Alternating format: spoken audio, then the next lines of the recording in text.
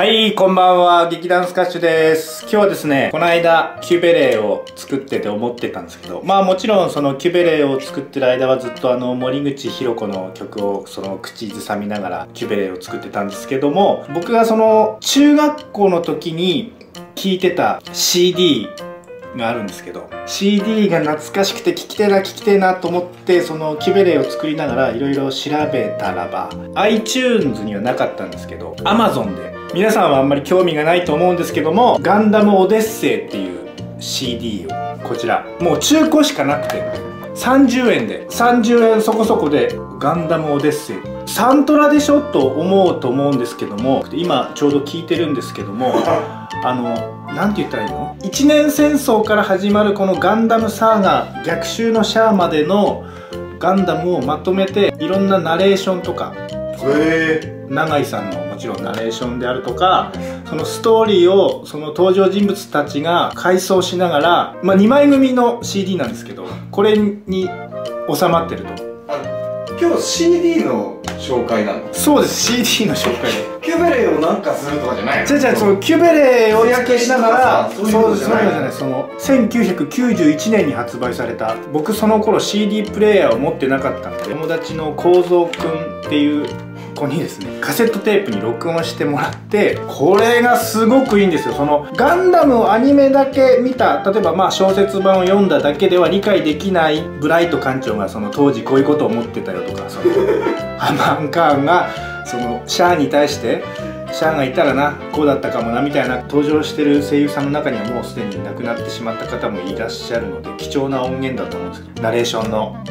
永井さんも。去年ですか？いやちょっとちょっとごめんなさい。ガルマの国葬の時のね演説とかもちょっと短縮バージョンっていうそのかいつまんだバージョンなんですけどやっぱアニメの時の音源を使ってるわけじゃなく再録をしてるからすごくねその何て言うんだろうな。みんな感情がこもってるよね。その上手。声優さんたちが。終始興味ないよ話が。そうなんですけどこれねせっかくガンプラには興味出てきたのにさいやいや。なんでそこでその CD の紹介になっちゃうすごくこれねだからガンダムファンの人でもこの CD の存在知ってる人って多分そんなに多くない。ガンダム F91 ちょっと前に多分発売されたんだったかな。どうだったかな。そういうの多いよ。これねシーブック・アノーとセシリ・フェアチャイルドが 進行役を務めてるんですけどガンダムっていうものが人類の革新を描いたアニメなんだよっていうことがここに凝縮されてるわけです。あ今ちょうどあ私の弟諸君らが愛してくれた弟のガルマが死んだ。なぜだと。ああギレンの声優のほら銀河万丈さんがあのイベントで実際に生であのこのあのガルマ国葬の演説やったの見ました？皆さん。YouTube とかに今あると思うんで。そそれもすごいです。まあそれももちろんすごいですけどあのね生のすごかったですよね。まあ僕は生では見てないんですけど。何て言うんだろう。そのアニメの時にはなんかその表現で表現されなかったっていうかその何ていうかねこの